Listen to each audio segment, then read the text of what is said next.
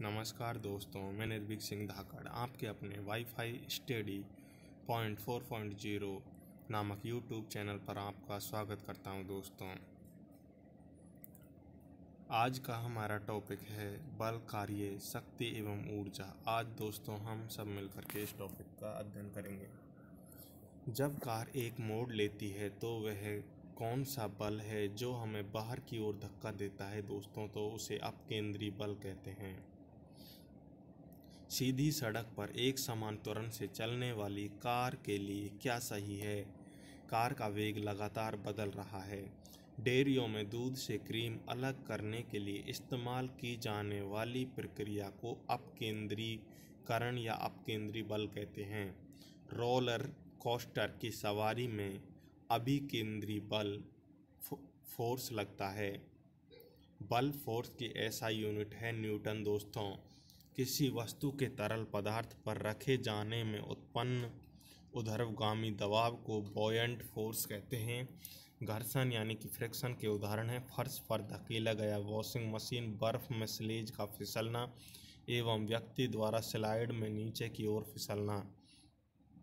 जब सीधे ऊपर की ओर फेंका गया एक पत्थर शीर्ष पर पहुँचता है तो इसका क्या मान होता है? जब कोई पत्थर सीधे ऊपर की ओर फेंका गया हो तो शीर्ष पर इसका वेग तो शून्य होगा तथा त्वरण का मान लगभग 10 मीटर प्रति सेकंड स्क्वायर होता है।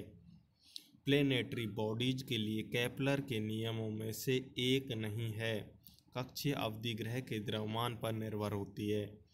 ग्रहों के ग्रह पथों का सामान्य आकार क्या होता है? तो अंडाकार होता है। ग्रह, सैटेलाइट, तारा एवं आकाशगंगा गैलेक्सी में से ग्रह वस्तु सूर्य के चारों ओर परिक्रमण करती है। सौरमंडल का हीलियोसेंट्रिक मॉडल सर्वप्रथम निकोलस कॉपरनिक्स के द्वारा दिया गया था। अगर लिफ्ट तेज़ी से ऊपर बढ़ रही है तो एक शरीर का प्रत्यक्ष वज़न वास्तविक वज़न से कम होता है, यह असत्य कथन है। जबकि सत्य कथन है, अगर लिफ्ट तेज़ी से ऊपर की ओर बढ़ रही है तो एक शरीर का प्रत्यक्ष वज़न वास्तविक वज़न से कम होता है। यदि पृथ्वी पर आपका वज़न 38 किलोग्राम है तो बुध ग्रह पर आपके शरीर का वज़न 14.3 किलोग्राम होगा। पृथ्वी की सतह पर पलायन वेग ग्यारह पॉइंट दो किलोमीटर प्रति सेकंड होता है। निम्न तापमान, निम्न गति, निम्न दाब एवं निम्न घनत्व में से किसके कारण बादल बादल आकाश में तैरते हैं? तो निम्न या अल्प घनत्व के कारण बादल आकाश में तैरते हैं दोस्तों।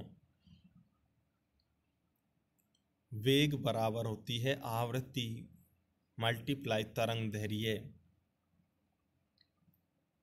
लोकप्रिय श्रेणी यानी कि ऑफलाइन परीक्षा में आए हुए प्रश्न निम्न प्रकार से हैं। दोस्तों 2001 से 2014 तक के वस्तुनिष्ठ प्रारूप। क्वेश्चन नंबर एक। निम्न भौतिक राशियों में से किन के समान विमय सूत्र नहीं हैं?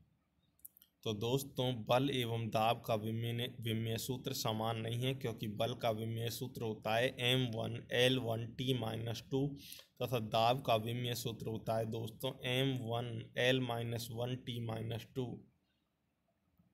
दो वेक्टर जिनका मान अलग अलग है, उनका परिणामी शून्य हो सकता है। निम्नलिखित में से कौन सी वेक्टर राशि है? तो दोस्तों बल एक सदिश राशि है, जबकि चाल, ऊर्जा एवं तापमान ये सभी अदिश राशि हैं।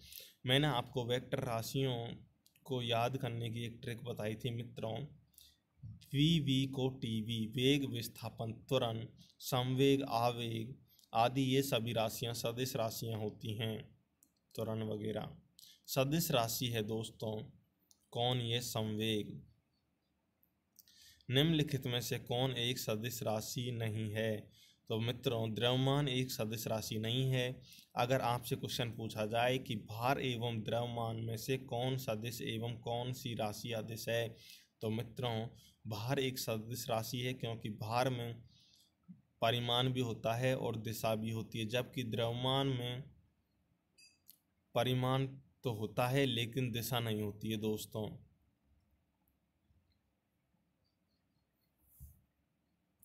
किसी सदिश का परिमाण कभी नहीं हो सकता है दोस्तों, क्या तो ऋणात्मक।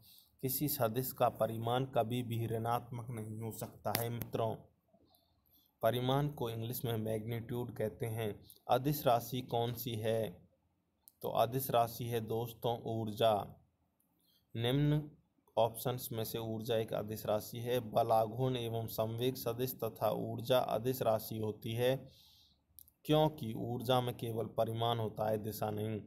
अदिश एक प्रामात्रा है जिसमें परिमाण होता है, लेकिन दिशा नहीं होती है।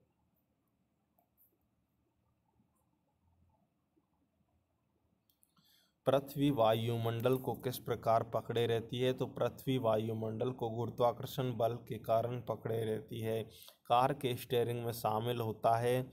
बलों का एक युग्म जो विपरीत दिशाओं में तथा उसी रेखा लाइन पर कार्य करता है। एक लड़के का भार पृथ्वी पर छः न्यूटन है तो इसका चंद्रमा पर भार होगा। दोस्तों, कितना तो वन बाई सिक्स होता है। पृथ्वी के बाहर का चंद्रमा पर भार तो कितना होगा? हंड्रेड न्यूटन होगा मित्रों। कोई तो अधिकतम भारशील हो जाती है निर्वात में दोस्तों। न्यूटन किग्रा मात्रक है दोस्तों। किसका? तो त्वरण का। त्वरण का मात्रक है न्यूटन किग्रा त्वरण ऐसा ही इकाई पद्धति का मात्रक है।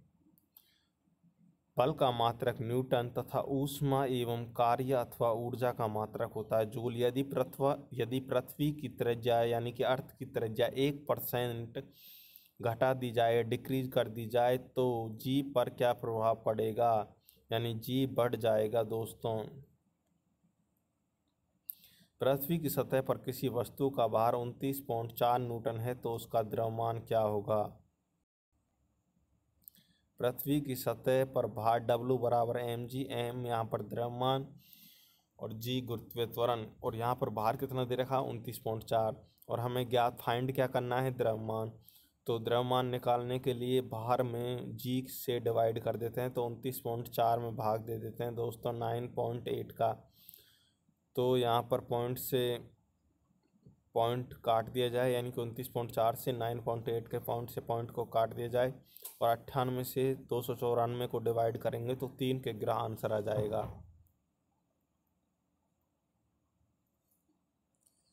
एक बल ज़ीरो पॉइंट पाँच के ग्रह के पिंड में दस मीटर प्रति सेकंड स्क्वायर का त्वरण उत्पन्न करता है तो बल का मान क्या होगा? बल बराबर द्रव्यमान गुना त्वरण। यहाँ पर द्रव्यमान दे रखा ज़ीरो पॉइंट पाँच के ग्रह तथा त्वरण दे रखा दस मीटर प्रति सेकंड स्क्वायर। एफ़ बराबर एम ए तो यहाँ पे बल आ जाएगा पाँच न्यूटन का। यदि एक गेंद ऊंचाई एच पर विराम की स्थिति से फर्श पर गिरती है तो ऊंचाई एच बाई फोर तक वापस उछलती है। गेंद तथा फर्श के बीच का प्रत्यास्थान गुणांक है तो एक बटे दो।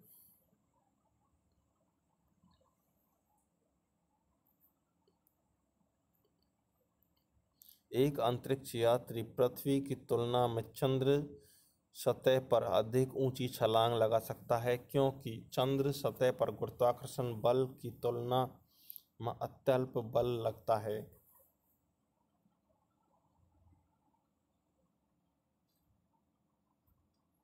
क्योंकि चंद्रमा पर जी का मान पृथ्वी पर जी के मान का एक बटे छः हो जाता है।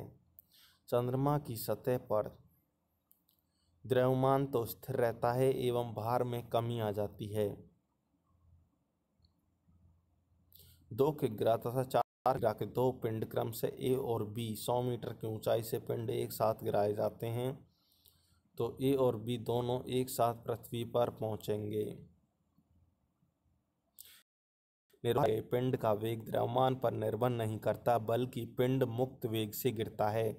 पृथ्वी प्रत्येक वस्तु को अपने केंद्र की ओर आकर्षित करती है। इसी आकर्षण के कारण मुक्त रूप से गिरने वाली वस्तु में एक नियत त्वरण उत्पन्न होता है। किसी वस्तु का भार पृथ्वी की सतह पर डब्ल्यू न्यूटन है। उसका भार पृथ्वी की त्रिज्या की आधी के बराबर ऊंचाई पर होगा, चार बटे नौ डब्ल्यू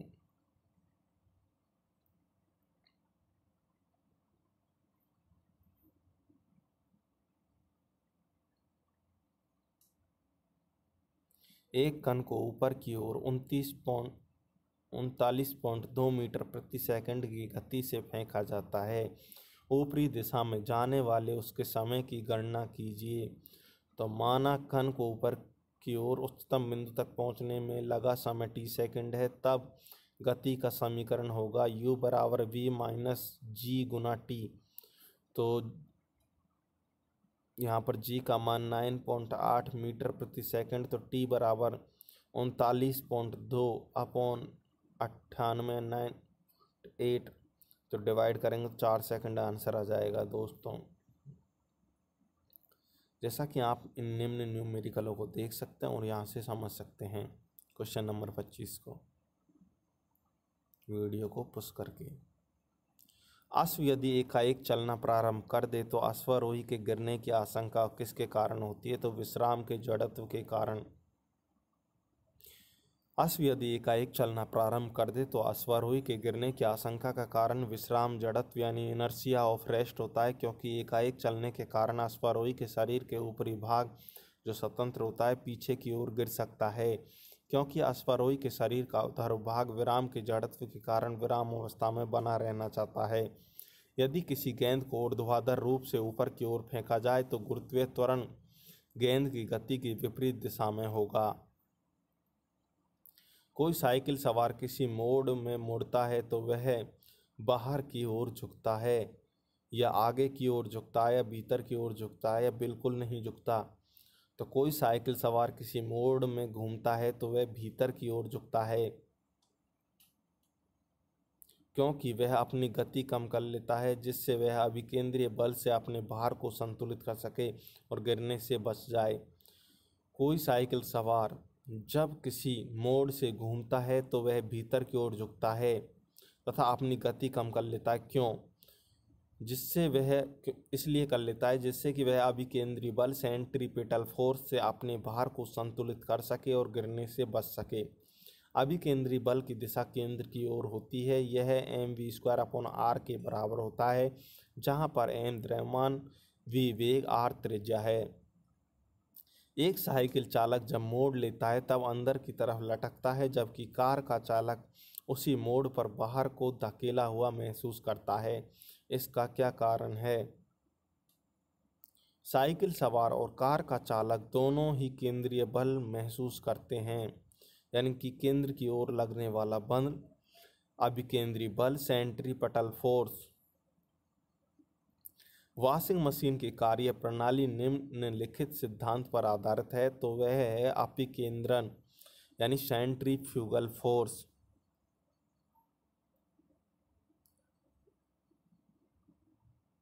शून्य में स्वतंत्र रूप से गिरने वाली वस्तुओं का समान त्वरण होता है। क्रिकेट का खिलाड़ी तेज़ी से आती हुई बॉल को क्यों अपने हाथों को पीछे खींचकर पकड़ता है तो वह पकड़ता है। हो सकता है कि उसे अधिक बल लगाने के लिए समय मिल जाए। जब खिलाड़ी गेंद को रोकता है तो गेंद का संवेग यानी मोमेंटम शून्य हो जाता है। संवेग परिवर्तन के लिए खिलाड़ी गेंद को जितने अधिक समय में रोकेगा, आवेग देने के लिए उतना ही बल लगाना पड़ेगा। इसलिए वह गेंद को अंगुलियों के बीच आते ही अपना हाथ पीछे की ओर खींचता है, जिससे वह गेंद को अधिक समय तक बल लगा सके। तथा यदि वह हाथ आगे ले जाकर गेंद को पकड़ेगा तो क्रिया प्रतिक्रिया के नियम के कारण चोट लगने अथवा छिटक कर गिरने की संभावना होगी। जड़त्व आघूर्ण का मात्रा ग्राम मीटर प्रति स्क्वायर होता है। नमस्कार दोस्तों, आज के लिए इतना ही। अगर कोई गलती हुई हो तो हम उसके लिए आपके क्षमा प्रार्थी हैं।